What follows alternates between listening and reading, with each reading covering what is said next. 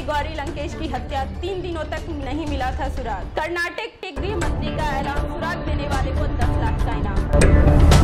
School murder case के आरोपी अशोक के परिवार का हुक्का पानी बंद। आज होगी पंचायत। जम्मू कश्मीर में सुरक्षा बल ने हिजबुल के एक आतंकी को किया ढेर और दूसरे को किया गिरफ़्तार। दिल्ली के गांधीनगर में स्कूल परिसर में बच्ची के साथ रेप चपरासी गिरफ़्तार। राम रहीम की तबीयत खराब, लाया जा सकता है पीजीआई हॉस्पिटल। नर्सों ने किया इलाज से इनका तारीख हिंदुस्तान न्यूज़